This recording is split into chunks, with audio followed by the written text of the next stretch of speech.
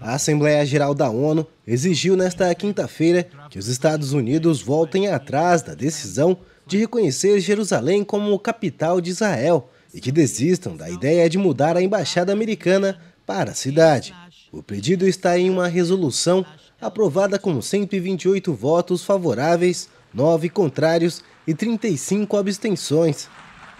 A votação ocorreu em meio a repetidas ameaças por parte dos Estados Unidos contra os países que votassem contrários à decisão tomada recentemente pelo presidente Donald Trump. A embaixadora americana na ONU, Nikki Haley, já tinha deixado claro que os Estados Unidos não se esqueceriam de países que votassem a favor da resolução, declarando que esse dia seria lembrado.